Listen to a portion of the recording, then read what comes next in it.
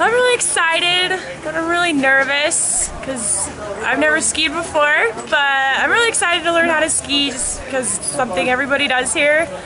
Uh, hopefully I don't fall too much, but it should be really fun. I'm excited. I'm going to be skiing with Katie today. Sounds like she's a little on the nervous side. That's very normal, uh, not a problem. The big thing that we're going to do is we're going to get her over her fears and show her how much fun this can be. Uh, one of the things a lot of people don't realize is they know a lot about skiing that they've never applied and we're to let her have a good time today. The first thing we did was work on some balance exercises inside. Once we got comfortable with that, we went outside. We worked on getting familiar with the ski equipment, worked on entrance and exit of the ski bindings, learning how to walk, and also learning how to uh, apply the brakes so that she could slide safely. Once we got to that, we proceeded to the chairlift.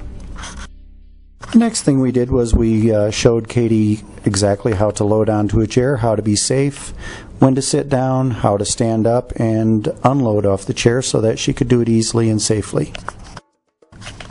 Now that we're on the hill, I want to get Katie comfortable with sliding in a wedge position. So the first thing we do is we slide with her holding onto the poles.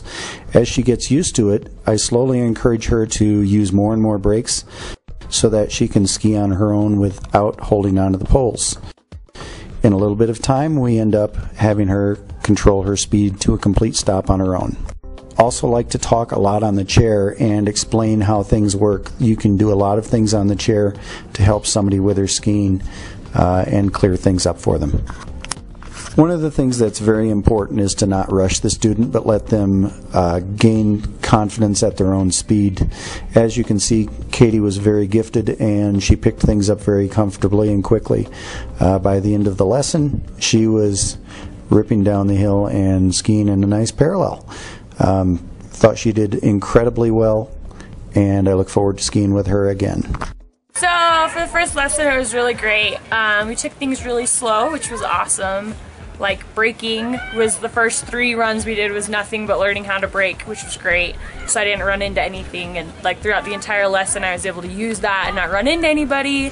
And I only fell once which was a huge success. And um, I learned a lot and he was really patient and took me through everything a few times which was awesome. And ski lift was super easy which I was worried about. And by the end of the lesson I was just flying down the mountain. It was great